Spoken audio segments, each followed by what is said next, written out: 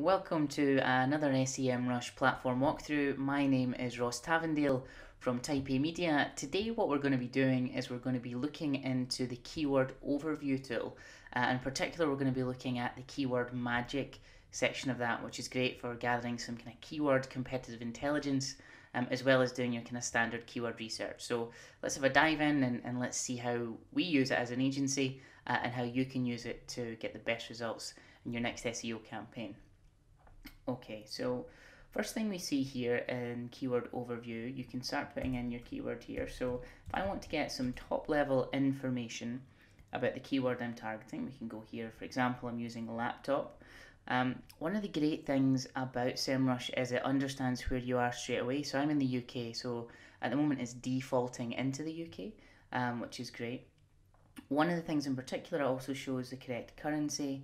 Um, so going in here, now the first thing that draws my attention is the trend graph. So um, for those who don't know, this is from January all the way up to December. So no real surprises here that laptops get more competitive and more people are looking for them over time, and in particular December. Um, so this is really important because if you're putting together any sort of keyword campaign and you start targeting laptops in particular, maybe in April or May, then you're not going to get the same search volume that you should expect. Now, moving down, um, we can see here this is coming from PPC. So, this is what people are bidding on inside of AdWords. So, we can see here we can get the entire report. So, I can download 20,000 keywords um, that are phrase match related to laptops. Now, laptops is a bit broad, um, so that's why there's so many. Um, so, we can get them downloaded in the entire report and export them out into Excel and we can start manipulate them. Um, another really cool part, part of this is actually seeing um, the actual ad copy themselves, which we're going to go into in a little bit more in a second. Uh, and for those that are you know doing any sort of shopping feed stuff with your PLAs, um, you can actually see the main uh, competitors there for all of that stuff. Um, again, just really good ad insights at a keyword level. You, you don't really get that anywhere else. Um, and one of the things I really like to do, especially when I'm building out any of my keyword lists, I actually like to hit the keyword and I like to pull the top 10. I like to then go in, take this URL here, or take the top 10 URLs and put them back in to this box. But instead of keyword overview, I would go to domain overview. And what that would allow me to do is see even more keywords related to that particular landing page. Um, now you'll notice there's navigation on the left here, but there's also navigation going across here. Um, this is the same thing, so if you click on to phrase match, what it's going to do is going to show you all of the phrase match keywords related to it. And then the same for related keywords. Um, I want to go into ads history for a little bit because this is particularly special in my mind. So even if you're not a PPC person, um, when you're writing your titles and your descriptions, so your, your kind of classic metadata, um, on the site to optimize each of the pages, um, it sometimes pays to know what keywords people are using to get high click through rates and obviously to convert. Now, for a term like laptop or laptops, um, the advertisers on this are going to be spending thousands and thousands of pounds um, and they're going to be showing these ads to hundreds of thousands of people. So, if they're doing that, we can pretty much guarantee that they've got some of the best ad copy out there, or at least you would hope they've got the best ad copy out there. Um, so when we look into it, what I can actually see is Lenovo. This is every single piece of ad copy they've actually ever created. So from my point of view, I want to see, you know, is there any changes in this over time? Uh, and if there is, what are they changing? Because if they're changing something and testing it and then sticking for something for a large period of time, it's highly likely that that gets the best click through rate for them and gives them the best ad rank. So something you could use for your own PPC campaign. Or what I like to do is I actually like to use it for my titles and my descriptions because I think one of the things we forget as SEOs, the PPC guys, like, you know, there's a big battle against, as I know, especially if you're uh, agency side. But the click through rates are really important to um, ad rank and it actually lowers the cost over time if you're getting good click through rate and good quality score.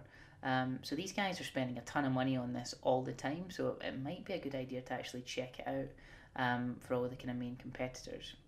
Now that's a really brief overview of what's going on there. Of course, you can switch between desktop and mobile anytime you want.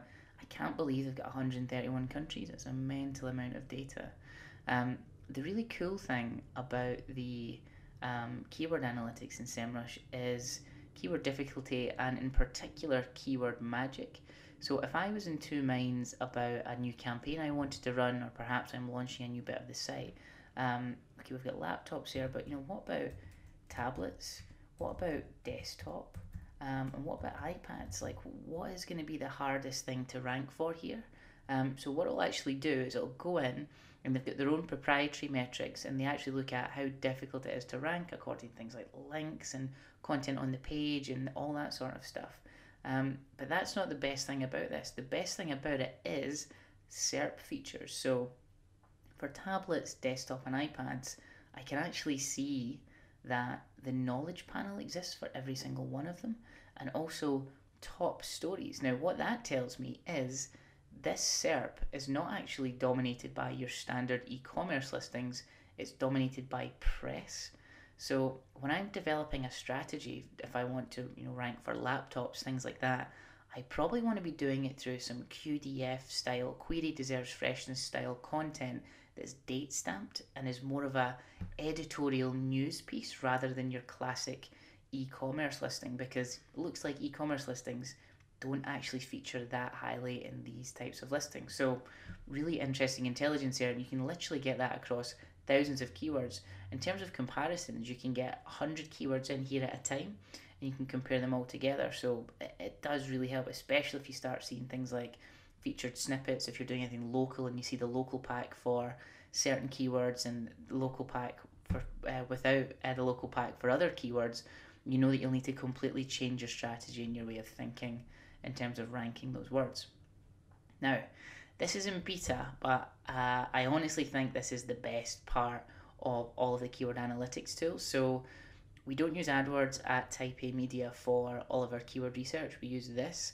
It, it's kind of reminiscent to me of like the old kind of Wonder Wheel, and it's also got a bit of Ubersuggest in there.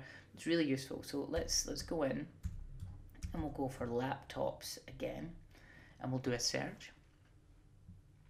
Now, what this is actually doing is it's pulling in every single phrase match keyword, but it's now categorizing them according to commonalities in the keywords. So if you're doing PPC and you're looking to split out by ad groups, this is it here.